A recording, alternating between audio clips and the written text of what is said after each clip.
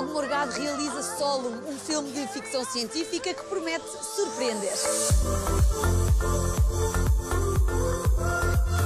Sentes numa estreia quando és tu a dirigir? Pá, é, é estranho à brava, sabes? Porque, por um lado, há uma ansiedade muito grande de partilhar finalmente, depois de dois anos de trabalho. Por outro lado, há aquela coisa de isto foi feito para eles. Portanto, eu espero realmente que, que tenha valido a pena e que gostem. É uma mistura de sentimentos, mas estou muito feliz. As you all know, you are being left on this island. É um filme de ficção científica que é muito fora do comum em Portugal, portanto é um desafio enorme. Ao início não se percebe muito bem, parece que eles estão ali só num concurso para ver quem é que consegue chegar ao fim e depois o jogo muda. Muita aventura, muito suspense, muitos twists na, na história e um, um elenco incrível e os Açores como protagonistas. Esta história é muito fora da caixa, vem tudo da tua cabeça?